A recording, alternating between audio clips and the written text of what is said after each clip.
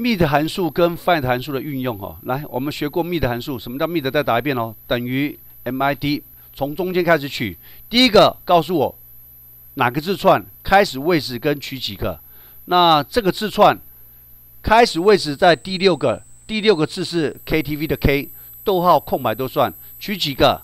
取九个，顺利可以把什么 KTV 卡拉 OK 店取出来。可是有个重点来了，老师，这个有啊，这个没有。没有拉过来取没有的话就变取错位置了嘛？你看见吗？哦，这个，那再下来这个取的是对，再下来呢，你看到这里就好了。老师，这个第一个重点，呃，不可以这样直接取呢，这样取有个缺点哦。你看看，第一个，如果公式都打是第六个位置开始取九个，第一个对，第二个错，第三个对，接下来呢，这个有 KTV 可是取的也错呢，那怎么办呢？好，我们再把这个。函数再看一下，什么叫 mid 函数？mid mid 函数在取之前呢，一个很重要位置，你要知道什么？起始位置。我要知道这个 k 的位置在第第几个？第六个。然后再告诉我取九个就可以完整取出来。那现在重点来了，这个位置在第六，第六。那这个在这个什么位置不对？这个位置不对呢？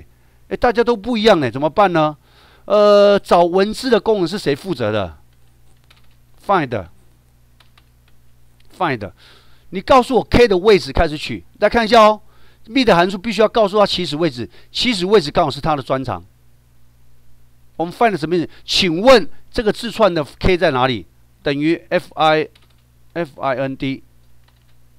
寻找的字串哦。那这样不可以这样，这样是错哦。老师有加双引号啊？怎么还错？在这个字串，这样就可以了。请问 K 在这个字串，因为这个 K 是大写，这个 K 是小写，所以找完以后他告诉你没有，有分大小写，这个 K 要大写，要注意，这样呢找上来告诉你，哦，有这个那就方便喽，我就可以找全部呢，有就出来，没有就出现 value 找不到，OK 吗？那这个在第六个位置，这个在第几个位置？第十二，这个第几个位置？第十九，这第一个位置在这里，你位置不一样没关系，反正我一定帮你找出来，好来。Find 在做什么？找位置。好了，我们再看到密的函数。什么叫密的函数呢密的函数的中间这个叫什么意思？请你告诉我位置。如果我知道位置取九个就可以顺利把它取出来，那找位置刚好是他负责了。所以呢，应该怎么打？把这个 find 的位置丢到这个位置来，不要打六，应该让你来找 find，对不对？找谁？找什么？大写的 K。